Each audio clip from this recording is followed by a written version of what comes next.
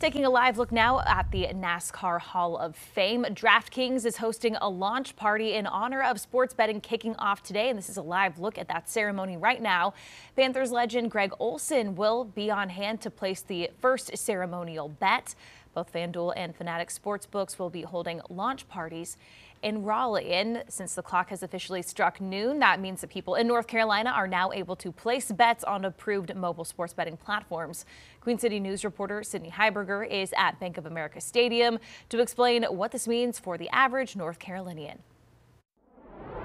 If you haven't already, you're about to start seeing a lot more advertisements for mobile sports betting platforms like FanDuel and DraftKings. FanDuel in particular is partnered with the Carolina Panthers. The launch comes just in time for gamblers to place bets for college basketball tournaments, but you do have to be 21 years old and physically in North Carolina to place those bets.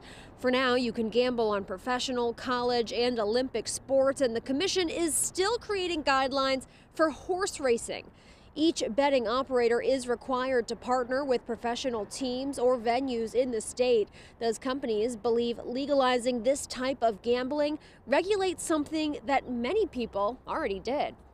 I think, you know, it's just going to provide better, safer access than probably other mechanisms that people have today, whether it's offshore books where there's uncertainty about your money. It's a highly regulated um, industry, as it should be. Eight operators have received licenses from the North Carolina Lottery Commission. We have a list of those on our website, qcnews.com. And researchers predict that the taxes generated from mobile sports betting could bring the state more than $100 million a year.